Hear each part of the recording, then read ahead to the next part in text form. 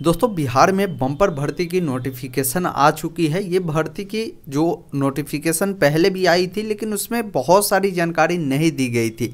अभी फ़िलहाल इसका पूरा डिटेल नोटिफिकेशन आ चुका है। ये बहाली करीब उनचालीस पदों पे ये बहाली को निकाली गई है। इस बहाली में काफ़ी बेहतरीन जो अपॉर्चुनिटी है, सभी कैंडिडेट को लिए दिए जा रही जो केवल पाँचवीं पास है या जो आठवीं पास है, जो दसवीं पास है, जो स्नातक पास है, साथ ही जो डीएलएड किए हुए वैसे बहुत सारे अभ्यर्थी है जो सीटेट क्वालिफाई है। ऐसे तमाम अभ्यर्थियों को मौका मिलेगा क्योंकि कस्तूरबा विद्यालय में हमने एक वीडियो आपको बनाकर जानकारी दिए थे कि कस्तूरबा विद्यालय में करीब चार हज़ार से भी अधिक सीटों पर बहाली आ रही है, जिसका पूरा डिटेल नोटिफिकेशन आ चुकी है। इसकी पूरी पात्रता बता दी गई है। साथ ही इसमें किन कैटेगरी के लिए और ब्लॉक वाइज भी सीट की सूची सूची आ चुकी है। सारी जानकारी हमारे official website online update S T M dot in पर भी उपलब्ध करा दी गई तो आप इस वेबसाइट पर आएँगे और लेटेस्ट जॉब वाले सेक्शन में बिहार कस्तूरबा गांधी बालिका स्कूल वैकेंसी वाले पे आपको क्लिक करना है, जैसे ही आप इस पर क्लिक करेंगे तो आप सारी जानकारी आप चाहे तो यहाँ से भी प्राप्त कर सकते हैं। नीचे स्क्रॉल करेंगे अप्लाई के प्रोसेस पंद्रह तारीख से स्टार्ट होने जा रही है। जो भी इलिजिबल कैंडिडेट है, अभी हम सारी एलिजिबिलिटी को समझेंगे, वो सभी कैंडिडेट आवेदन कर सकते हैं। और ख़ास बात ये है, ये काफ़ी बेहतरीन काम की है इस बार बिहार सरकार ने, क्योंकि ये जो सीट है, चार हज़ार के करीब में ये बहाली आपके लिए लाई है, सिर्फ़ और सिर्फ़ बिहार के अभ्यर्थी ही इसके लिए आवेदन कर सकते हैं। बिहार के बाहर वाले जो भी कैंडिडेट है, इसके लिए आवेदन नहीं कर पाएँगे। इसमें बहुत सारे सीट है, करीब आठ अलग अलग प्रकार के सीट है तो बहुत सारे ऐसे पोस्ट है, जिसके लिए आपको किसी भी प्रकार की पेमेंट नहीं देनी होगी।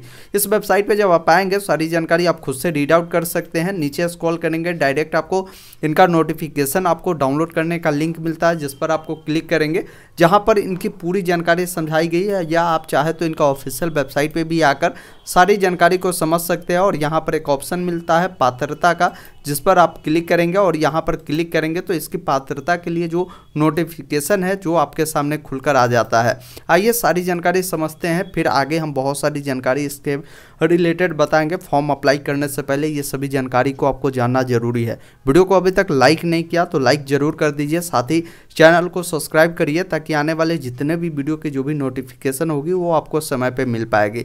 यहाँ पर देखेंगे ये जो करीब इस बहाली के लिए पोस्ट है, वो नौ अलग अलग पोस्ट गए, बहुत सारे ऐसे पोस्ट है जो आप देखेंगे, पाँचवीं पास कैंडिडेट को भी मौका मिल रहा है, जो मैट्रिक पास है, उनको भी मौका मिल रहा है। हम नीचे से बात करते हैं, जैसे यहाँ पर जो सहायक रसोईया के पद है, जिसके लिए अगर कोई अभ्यर्थी पाँचवीं पास है या पाँचवीं से ऊपर, छठी से लेकर मैट्रिक पास है, उनको मौका मिलेगा, जिसका कि सिर्फ़ और सिर्फ़ महिला उम्मीदवार ही आवेदन करेंगे।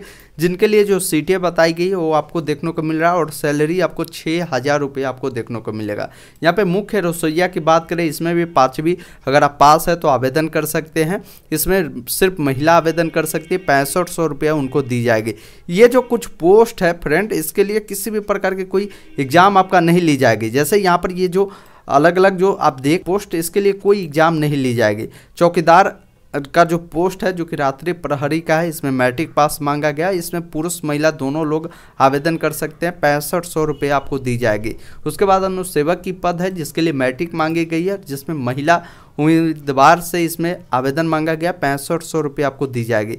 लेखा पाल सहायक का जो पद है, जिसके लिए आपको बताया गया है, बीकम होनी चाहिए, जिसके लिए आपकी सैलरी जो होगी पचासी सौ होगी, प्लस दो सौ रुपया आवासीय भत्ता भी आपको दी जाएगी, जो कि महिला अभ्यर्थी से लिए मांगा गया है। उसके अलावा यहाँ पे देखेंगे कुछ ये जो पद है, जो कि हायर एजुकेशन वाले अभ्यर्थी के लिए, जिसमें स्नातक न्यूनतम आपके होनी ही चाहिए, और ऐसा नहीं कि स्नातक आप कर लिए, इसके लिए फॉर्म को अप्लाई करेंगे तो ये बिल्कुल भी नहीं होगा। स्नातक के साथ भी शिक्षक पात्रता की जो परीक्षा होती है, जैसे सीटेट होता है उसके अलावे आपने डीएलएड क्वालिफाई कर लिया होगा बीएड किया होगा और सीटेट भी क्वालिफाई किया होगा। तो वैसे अभ्यर्थी को यहाँ पर मौका दिया जा रहा है, जिसमें सैलरी पंद्रह हज़ार है, किसी में आपको तेरह हज़ार है, तेरह हज़ार है, तेरह हज़ार है। तो यहाँ पे देखिए वार्डेंस और शिक्षिका की जो पद है, जिसके लिए आपको पंद्रह हज़ार सैलरी मिलेगी, वही बात करें, अंशकालिक शिक्षिका का जो पद है, जो कि भाषा के लिए होगी, हिंदी और अंग्रेज़ी की, जिसके लिए आपको तेरह हज़ार रुपये मिलेगा, वही विज्ञान एवं गणित के लिए जो होगी, जिसके लिए आपकी स्नातक की जो डिग्री होगी, बताया गया स्नातक की डिग्री आपको रसायन या भौतिकी या साथ ही गणित में होगी या जीव विज्ञान में होगी तो आवेदन आप कर सकते हैं और उसके अलावे ये भी आपकी पात्रता होनी चाहिए, तब इसके लिए आवेदन करेंगे। सबके लिए आपको बताई गई कि उम्र जो होगी, न्यूनतम यहाँ पे इक्कीस वर्ष होगी और अधिकतम सैंतीस वर्ष होगी। पिछड़ा वर्ग, अति पिछड़ा वर्ग के लिए चालीस वर्ष, महिला के लिए बताया गया। अनुसूचित जाति के जो भी लोग होंगे बयालीस वर्ष और जो भी दिव्यांग होंगे, उनको कुछ छूट यहाँ पे दिया जाएगा, जो आपको यहाँ पे बताई गई है। अब यहाँ पर और भी जानकारी समझते हैं। पदों के निर्धारित संख्या देखेंगे। Type one, type three, type four में बांटा गया है। तो ये क्या है, ये अभी हम समझाते हैं आपको। अब देखिए, टाइप वन में कौन कौन से लोग आएँगे, उनको क्या काम करना होगा, वो बताया गया है। जैसे देखिए, टाइप वन में कक्षा सिक्स से लेकर आपको आठवीं तक की जो भी छात्राएँ होंगे, उनको पढ़ाना होगा, जिसकी क्षमता होगी। सौ छात्राओं की जो क्लास होगी, जिसमें आपको पढ़ाने की मौका मिलेगी। उसके बाद यहाँ पर देखेंगे टाइप थ्री में आपको कक्षा सिक्स से आठवीं तक होगी, क्षमता जो बालिका की होगी, वो दो सौ का होगा। उसके बाद बात करें टाइप फोर के तहत नाइन्थ से लेकर ट्वेल्व तक की छात्राएँ होगी, जिसकी क्षमता सौ छात्राएँ की होगी। तो ये यहाँ पे निर्धारण किया गया है। उसके अलावे टाइप थ्री के जो स्थिति में बताया गया है, अंशकालिक शिक्षिका, जो कि विज्ञान एवं गणित की दो शिक्षिकाओं में एक गणित एवं दूसरी जीव विज्ञान की होगी। वही टाइप थ्री के बारे में आपको बताई गई, और यहाँ पर देखिए, जो वार्डन शिक्षिका की पद जो है, जिसमें अंग्रेज़ी एवं कंप्यूटर पृष्ठभूमि के उम्मीदवारों को प्राथमिकता दी जाएगी, जो कि यहाँ पे बताया गया है। जो अनुसेवक और रात्रि प्रहरी की जो पद होगी, जिसमें साइकिल चलाने का ज्ञान अवश्य होनी चाहिए, तब आप इसके लिए आवेदन कर पाएँगे। और जो भी पद है, जिसके लिए आयु सीमा की गणना जो की जाएगी, एक आठ दो हज़ार बाईस के आधार पर की जाएगी। यहाँ पे आरक्षण के बारे में भी बताएगी कि जो आपको आरक्षण मिलेगा, वो किस कैटेगरी के लिए क्या है, कितने परसेंट है, वो आप यहाँ पर आकर देख सकते हैं। आइए और भी जानकारी नीचे आते हैं, देखते हैं। अब यहाँ पे रिक्तियों की संख्या बताई गई आपके कैटेगरीज वाइज जैसे किस कैटेगरी में कितनी है? जैसे आप देखेंगे जनरल के तहत ये मेल के लिए फीमेल के लिए बताया गया ई के लिए ईडब्ल्यूएस फीमेल के लिए बीसी के लिए बीसी फीमेल के लिए, यहाँ पर कैटेगरी वाइज बताई गई है। जैसे कुल कितने सीटें हैं? जैसे वार्डन और शिक्षिका की जो टोटल सीट यहाँ पे निर्धारण किया गया है, चूँकि 331 पद है। वही बात करें, भाषा शिक्षक की जो पद होगी, जो कि करीब बताया गया कि 343 पद होंगे। इसी अनुसार ये जो टोटल पद की बात कर ले तो यहाँ पर आपको उनचालीस छिहत्तर पदों पे ये बहाली होगी, जिसमें सबसे अधिक हमने इसमें पद देखा है तो सबसे अधिक आपको सहायक रसोईया की पद है, जो कि करीब एक हज़ार पद मान सकते हैं, नौ सौ नब्बे पदों पे ये बहाली होगी। अब इसमें ज्वाइनिंग कैसे होगा, कैसे इसमें सिलेक्शन होगा, उसके बारे में बताया गया कि आवेदन करने के लिए आवेदक अनिवार्य रूप से बिहार राज्य के निवासी होगी, यानी बिहार के कैंडिडेट ही इस फॉर्म को अप्लाई करेंगे। और बताया गया है कि जो भी योग्यताधारी अभ्यर्थी के द्वारा इनका जब ऑनलाइन आवेदन होगा, क्योंकि आवेदन ऑनलाइन माध्यम से लिया जाएगा, इनके जो वेबसाइट है, इस वेबसाइट पे आपको यहाँ पर देखेंगे ऑनलाइन अप्लाई का लिंक आपको दी गई, लेकिन ये बताया गया कि ये अप्लाई आपको पंद्रह दिसंबर से ये शुरू होगा, इसलिए अभी कमिंग सुन है, अभी एक्टिव नहीं हुआ है और इसकी लिंक हमने अपने वेबसाइट पे भी उपलब्ध कराया है, जो कि यहाँ भी पंद्रह तारीख को बताया गया कि उस दिन से एक्टिव हो जाएगा। तो आपके मन में चल रहे होंगे कि ऑनलाइन जब फॉर्म को फिल होगा तो इसमें पेमेंट भी आपसे ली जाएगी तो बिल्कुल लिया जाएगा। बहुत सारे पद है जिसके लिए पेमेंट आपको नहीं ली जाएगी, जिसकी जानकारी हम बताते हैं। जैसे वार्डन और शिक्षिका की जो पद है अंशकालिक शिक्षिका एवं लेखापाल की जो पद है, जिसके लिए आपको शुल्क देने होंगे, सभी कैटेगरी के जो भी महिलाएँ होंगे, दिव्यांग अभ्यर्थी होंगे, जिनको चार सौ रुपये की ऑनलाइन भुगतान करनी होगी, जो पैसा वापस नहीं किया जाएगा। उसके बाद बताया गया है, इसके अलावे भी अभ्यर्थी को जो अतिरिक्त जो शुल्क होता है, जो कि बैंक का निर्धारण चार्ज होता है, वो आपको अतिरिक्त आपको देने पड़ेंगे। उसके बाद बताया गया कि अनुसेवक रात्रि प्रहरी मुख्य रसोईया, सहायक रसोईया के जो पद है, जिनके लिए आपसे किसी भी प्रकार की कोई शुल्क नहीं ली जाएगी, इस चीज़ को ध्यान रखिएगा। और ऑनलाइन करते समय अगर किन्हीं को कोई गलती हो जाती है तो एडिट का भी आपको ऑप्शन मिलेगा।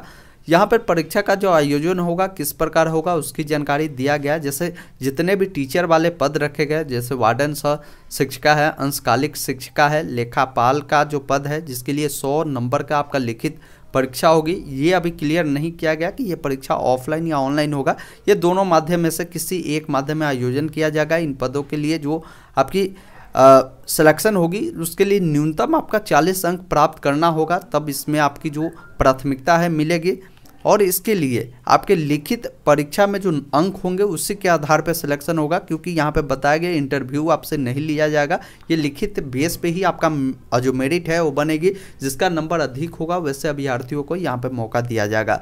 और कुछ पद यहाँ पे रखे गए। अनुसेवक हो गया, रात्रि प्रहरी हो गया, मुख्य रसोईया, उसके अलावा सहायक रसोईया का है, जिसके लिए आपको यहाँ पे बताया गया कि सौ अंकों की जो आपका इंटरव्यू है, वो लिया जाएगा। इन पदों के लिए लिखित परीक्षा का आयोजन नहीं किया जाएगा। इसमें जो इंटरव्यू होगा, जिसमें अगर आपका चालीस अंक आते हैं तो इसमें आपको सेलेक्टेड वो लोग करेंगे। इसमें कोई एग्ज़ाम आपसे नहीं ली जाएगी और साथ ही आपकी जो क्वालिफिकेशन है, वो देखी जाएगी और इंटरव्यू अच्छा जाएगा तो आप इसमें सेलेक्टेड हो जाएँगे। अब प्रश्न कैसे पूछे जाएँगे उसकी जानकारी बताया गया कि प्रश्न पत्र में दो अंकों का जो है दो दो प्रकार का होंगे। जैसे पचास अंकों का आपका ऑब्जेक्टिव मिलेगा, पचास अंकों का सब्जेक्टिव मिलेगा। उस अनुसार सभी प्रश्न आपका जो होंगे, स्नातक स्तर के होंगे, जिसमें लिखित परीक्षा आयोजन की जाएगी। अब देखिए, वार्डन शिक्षिका लेखापाल हेतु जो परीक्षा आयोजन होगा, जिसमें कहाँ से क्वेश्चन पूछे जाएँगे, जिसकी जानकारी आपको दी गई है वार्डेंस और शिक्षिका के लिए क्या होगी, उसके बाद अंशकालिक शिक्षिका भाषा के लिए क्या होगी, विज्ञान एवं गणित के लिए कहाँ से पूछी जाएगी, वो आप यहाँ पर आके देख सकते हैं। उसके अलावे भी बताया गया लेखापाल सहायक के लिए क्या पूछी जाएगी, वो बताया गया है। लिखित परीक्षा एक घंटे की अवधि होगी तो ये इसका कुछ इम्पोर्टेंट रूल्स था जो आपको फॉलो करना होगा। ये करीब 10 पेज का ये पीडीएफ है, जिसमें सारी जानकारी बताई गई है। मेघा सूची किस अनुसार बनाया जाएगा, उसकी जानकारी दी गई है। अब देखिए, अभ्यर्थी जब लिखित परीक्षा देंगे, लिखित परीक्षा में अगर कोई अभ्यर्थी का समान अंक आता है, उनकी जन्म तिथि पहले होगी, उनका पैनल में नाम पहले रखा जाएगा, ये यहाँ पे बताया गया है। उसके अलावा वार्डन शिक्षिका के प्रत्येक पद हेतु चार अलग अलग पैनल तैयार किए जाएँगे, जैसे प्रारंभिक शिक्षा शास्त्र में जो वर्षीय प्रशिक्षण, उसके अलावा वर्षीय डीएलएड, बीएड, जो परीक्षा वाले शिक्षक पात्रता उत्तीर्ण किए हुए हैं वैसे अभ्यर्थी के लिए यहाँ पे बताया गया है मतलब यहाँ पे जो चार अलग अलग पैनल बनाए जाएँगे, जैसे यहाँ पर पहला पैनल बनेगा प्रारंभिक शिक्षा शास्त्र में दो वर्षीय प्रशिक्षण जो किए हुए हैं, जैसे डीएलएड वाले अभ्यर्थी, उनका एक अलग पैनल होगा, प्रारंभिक शिक्षा शास्त्र में जो दो वर्षीय प्रशिक्षण, साथ ही डीएलएड, बीएड परंतु शिक्षक पात्रता उत्तीर्ण नहीं किए, उनके लिए अलग बनेगा, और उसके बाद जो शिक्षक पात्रता परीक्षा उत्तीर्ण किए हैं, उनके उनके लिए अलग बनेगा और बिना शिक्षक पात्रता परीक्षा उत्तीर्ण वाले विद्यार्थी के लिए जो पैनल है, वो अलग से बनाए जाएँगे। तो इस प्रकार ये चार अलग अलग प्रकार के पैनल तैयार करेगी, उसके अनुसार आपको सिलेक्शन किया जाएगा। अब कुछ ऐसे पद है जिसमें पाँचवीं मांगी गई है पाँचवीं तब ली जाएगी जब यहाँ पर बताया गया कि मैट्रिक उत्तीर्ण अभ्यर्थी नहीं पाए जाते उस केस में जो कैंडिडेट पाँचवीं उत्तीर्ण है उनको भी इसमें सिलेक्शन किया जाएगा। इस चीज़ को ध्यान रखिएगा। तो ये इनका सिलेक्शन प्रोसेस था। हमने सारी जानकारी बताया इस बहाली को आ, कैसे आप अप्लाई करेंगे उस पर जल्द ही आपको वीडियो मिलेगा। जैसे इसका लिंक एक्टिव हो, आ, होगा तो सारी जानकारी इस वेबसाइट पर उपलब्ध है। तो सारी जानकारी एक बार आकर आप रीड आउट करें ताकि आपका सारा डाउट क्लियर हो पाए। फिर भी कोई डाउट कन्फ्यूज़न है कॉमेंट करके पूछ सकते हैं। वीडियो देखने के लिए बहुत बहुत धन्यवाद।